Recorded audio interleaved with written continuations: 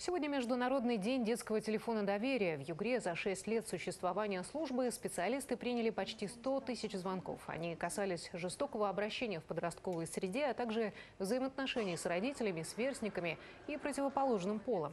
Отмечу, решить проблемы юных югорчан психологи службы помогают круглосуточно, анонимно и без ограничений по времени разговора. Номер детского телефона доверия в Югре на ваших экранах.